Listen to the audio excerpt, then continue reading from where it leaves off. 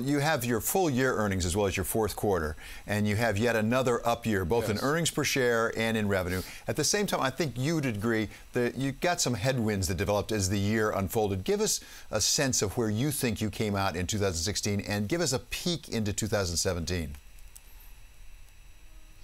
Well, 2016 was a tremendous year for the company uh, for a variety of reasons. First of all, 14 and 15 had been record years for us and we did, did even better in 16. So we continue to grow the company at a robust clip. In addition to that, the two biggest things that we had to accomplish in fiscal 16 was one, bring Star Wars back. Our first movie, Force Awakens, came out in December, the first one since the acquisition of Lucas, and it was just a gigantic success.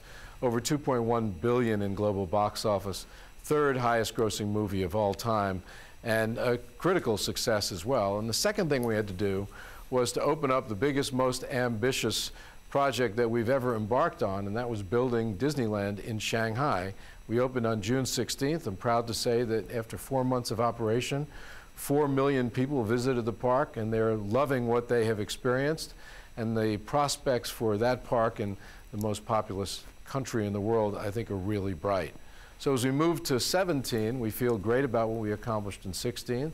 There is momentum in most of our businesses. We have a couple of headwinds as it relates to you know, comparability factors like the cost of the new NBA contract for ESPN and the fact that we don't have a Star Wars saga film in 2017. But we think that the company is headed in the right direction. We've talked about the fact that 17 is an anomaly and that it's a lower growth year than we've experienced since 2013, for instance. But I think it's fair to say the media networks have gotten a lot of attention, particularly ESPN, frankly, in part because it's so successful and so large. But there are questions about the subscriber level for ESPN and some reduction in the subscribers. Can you get, bring us up to speed on where that stands right now? At what rate are you losing subscribers? Is that continuing? Look, we, we've been um, eyes wide open, I'll call it, about what's going on in the television business overall. We've seen a lot of disruption. People are consuming TV on new platforms in very, very different ways, in new places as well. Mobile has become really important, for instance. We were candid a year ago about what we, would, what we had been seeing at the time regarding ESPN subs. We had been seeing losses. A lot of it came from the adoption of cable light bundles that did not have ESPN in them. We decided that we would embark on a on a campaign, so to speak, to make sure that ESPN was included in any new light bundles that launched, and we've been quite successful at negotiating deals with distributors, particularly a lot of new distributors, to make sure that ESPN is included in the new packages that are coming out. So we are heartened by, one, a slight abatement in the loss of subs due to light bundles, two, the um, uh, the, the launching of these new digital platforms, which we think provide a great user interface and are very mobile friendly. We know ESPN is a great hand as it relates to their programming.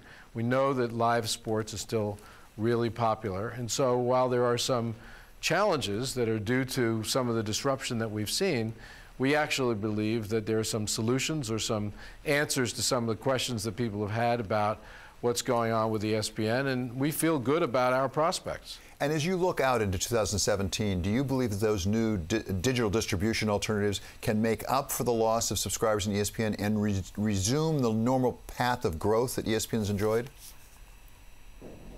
Well, ESPN, save for the anomaly that is 2017, because of the 600 some odd million dollars of incremental rights fees due to the new NBA deal, which, by the way, we're not complaining about because we did a deal that takes us through the 2024-2025 season.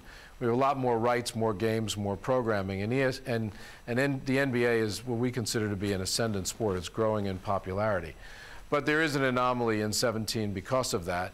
Uh, in 18, we believe ESPN will return to some nice growth again, and we believe ESPN will continue to grow beyond that. So our, again, our outlook for ESPN is positive.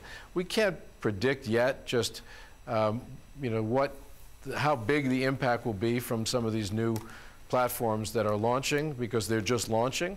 But we feel good about the user interface. We believe that their pricing is right in terms of increasing adoption of those platforms. We think it provides a great alternative to people who thought the expanded basic bundle was too expensive or to young people who weren't that interested in subscribing to what they consider to be cable television, but they like new digital platforms.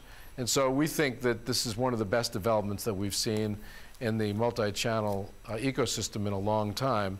And we also know that everybody wants to launch with ESPN as part of their new package because of the popularity of sports and of ESPN.